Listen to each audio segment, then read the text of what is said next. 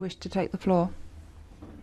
Uh, yes, uh, thank you, Chair. I rise under Rule 11, Section 3. Uh, according to Politico, our distinguished colleague Elmar Brok finds it necessary to generate cash from visitors' groups.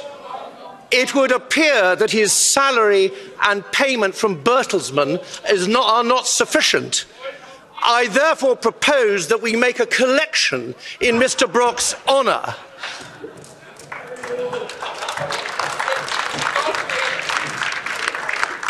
And I would like to set the ball rolling by donating five cents, or for the interpreters, five centimes. Perhaps somebody else Merci, will improve on that. Somebody else will improve on that. de cette Thank you. euh, intervention.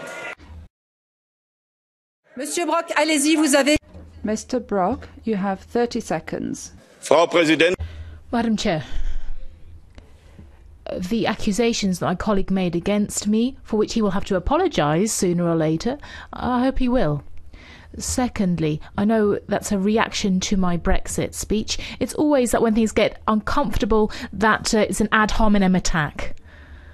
So I hope I will never undermine Ireland's interests in the European Union and sell them for cash. That is morally unacceptable.